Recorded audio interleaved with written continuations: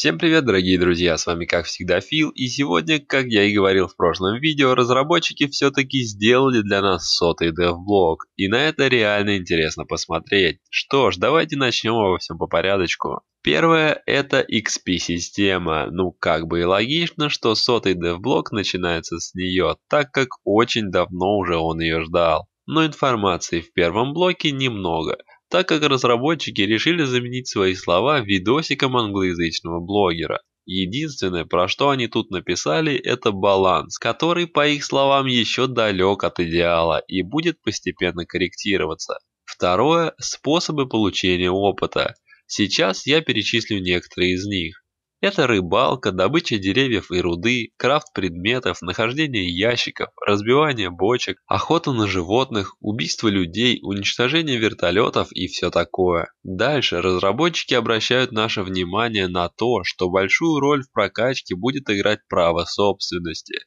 Как я помню, о нем говорилось в прошлом дев-блоге, но напомню еще разок. Право собственности будет распространяться на все предметы, сделанные вами – и если кто-то другой будет ими пользоваться, то за это вы будете получать немного опыта. Следовательно, при большом количестве взаимодействий с людьми часть ваших вещей так или иначе будет разделяться по серверу, что может создать большой поток генерации опыта. Третье – записки в игре. Насколько вы знаете, этот листочек давно уже был введен в игру, еще со времен бумажных карт, но был полной бесполезностью. Теперь в нем хотя бы можно писать, и если другие игроки его найдут, они смогут прочитать ваше послание. Четвертое. Июль 2016 год. Память о старом добром Расте, который был основой еще вчера. Это были времена чертежей и фрагментов. Как вы помните, ветка с этим растом осталась, поэтому если кто не наигрался, у вас еще есть возможность. Пятое. Лаунчер. Теперь, если что-то обновляется, он будет показывать прогресс. Как говорят разработчики, теперь не придется ждать непонятных долгих загрузок перед тем, как поиграть. Шестое – следующий шаг. Это придумал не я, это все со слов разработчиков. У них много идей, которые они хотят реализовать в игре. Это катание на лошадях, электричество, дронов-смотрителей и еще много разного, о чем здесь пока не написано. Что касается оптимизации, то это тоже когда-нибудь будет. Седьмое – ранняя стадия игры. Когда вы впервые появитесь на свет в настоящем расте, вы можете заметить заниженную стоимость оружия ближнего боя, которое раньше стоило дороже. Это сделано для того, чтобы новые игроки могли быстрее развиваться на начальном этапе. Даже дурацкий деревянный пистолет улучшили ради новичков. Теперь он наносит на 25% больше урона и более надежный.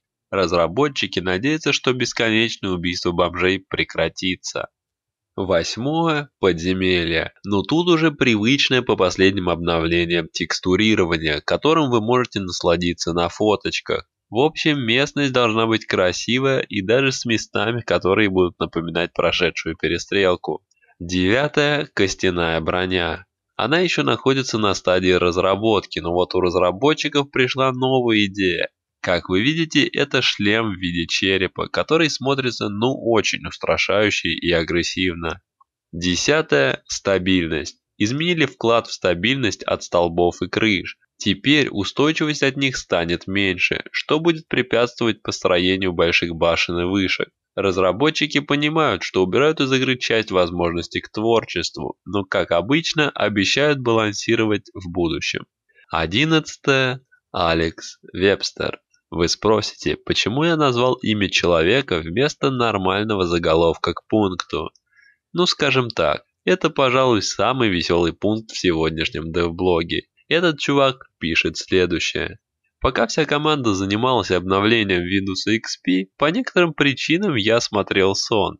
И там, походу, ему прилетело в голову тупым предметом. Либо это Гарри огрел его черенком от лопаты, не знаю. И он стал вновь, как и на протяжении уже, наверное, десятой недели, делать метательное оружие. Да, красавчик.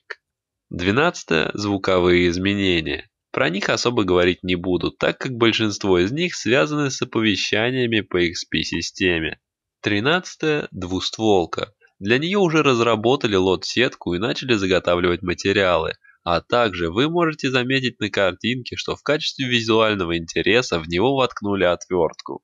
14. Анимация игрока. Исправили вновь появившиеся проблемы с анимацией рук игрока с оружием от третьего лица. 15. Спящий. Исправили баг, при котором спящий игрок показывался стоящим до тех пор, пока к нему не подбежишь.